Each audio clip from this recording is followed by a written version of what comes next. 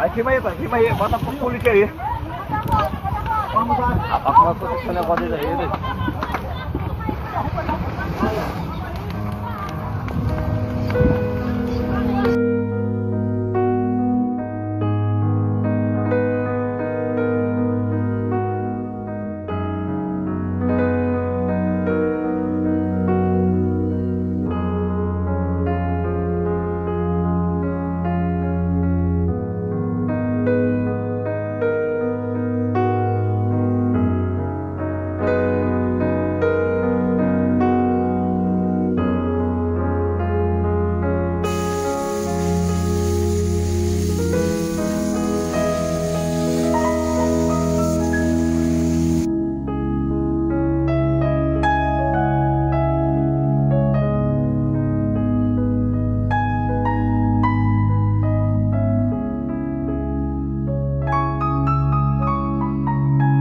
Nossa equipe veio até a localidade Tapoca, zona rural de Bacabal, que fica a cerca de 22 quilômetros da cidade.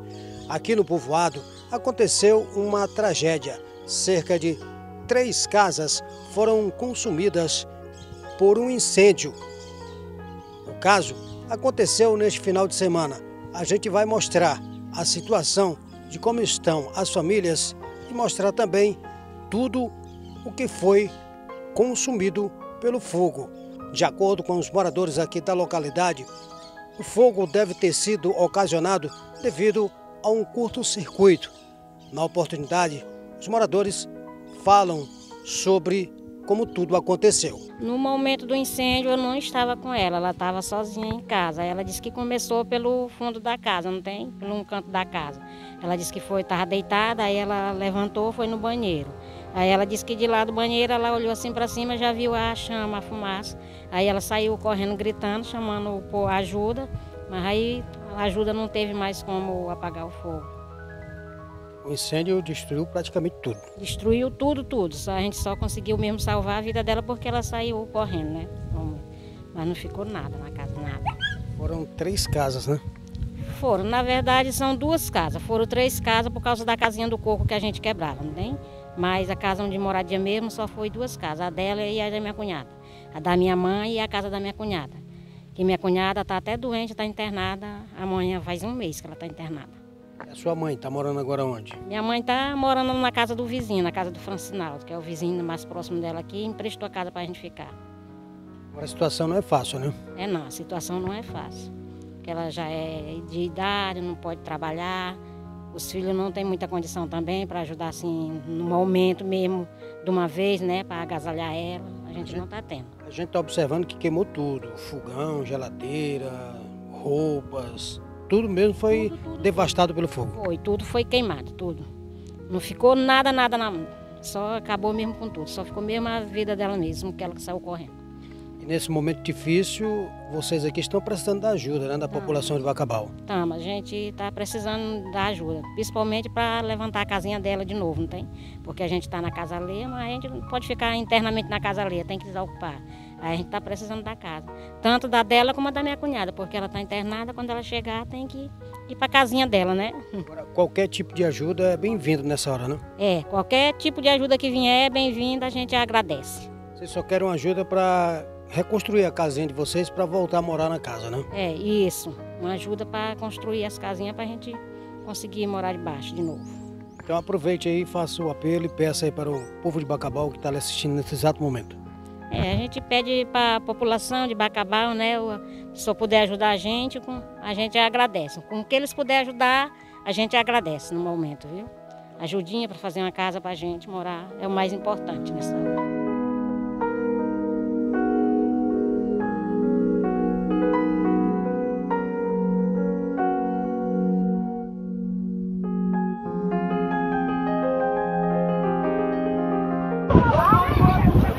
Aí cima aí, pai, cima aí, bota pro polícia aí.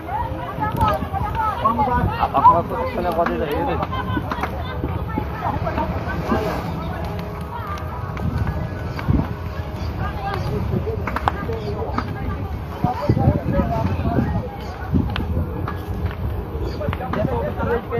É da rosa.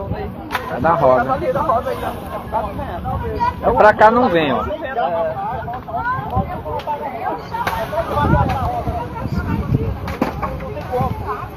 Realmente consegui salvar duas casas, viu? mas foi um milagre. Para os senhores terem uma ideia, eu estou aqui em uma das casas que foi completamente consumida pelas chamas. Veja a situação que ficou. A geladeira que foi queimada, o fogão e vários outros pertences desta família que teve tudo destruído pelo fogo. A gente conversou com algumas pessoas aqui da região que falam sobre esse lamentável e triste episódio que aconteceu no final de semana aqui no povoado da Boca. Na oportunidade, eles pedem uma ajuda para a população de Bacabal, já que eles perderam tudo. Eles querem simplesmente construir as suas casas de novo para voltarem a morar um local digno que eles merecem. Bastante. Minha mãe amanhã faz um mês que ela está internada no Laura. Ela passou por uma cirurgia na cabeça. Ela teve derrame cerebral. Aí tá lá em quase quando ela queimou tudo, não deu tempo de a gente tirar nada, nem dela, nem da vizinha. Quantas pessoas moravam aqui nas casas? Nada, minha comadre era duas pessoas, ela e o filho dela, e nada a mãe também, ela é ela e o filho. Nesse momento difícil que vocês estão passando, qualquer ajuda é bem-vinda nessa hora. Faça um apelo aí para o pessoal de Bacabal que está assistindo nesse exato momento, que tenha compaixão da situação de vocês. Eu queria uma ajuda para poder reconstruir a casa dela, para quando ela sair de lá, ela poder ter o lugarzinho dela vir, embora tenha a minha, mas ela tem na dela, eu tenho certeza é mais diferente. Aí agora que ela está começando a reagir, ela está na, na sala de UTI, a gente só vai às quatro horas para poder ter a visita dela. Ontem, graças a Deus, ela conseguiu abrir o olho, só um. O movimento dela é muito pouco, o movimento que ela teve foi na mão e nas pernas. E as pessoas que moravam nessas casas, elas estão aonde agora? Os meus irmãos estão tá na minha casa, aí o outro cedeu a casa dele para minha comadre, aí está morando comigo enquanto constrói a outra casa de novo. A situação é bem difícil, né? Bastante. Você já tinha passado por um momento desse?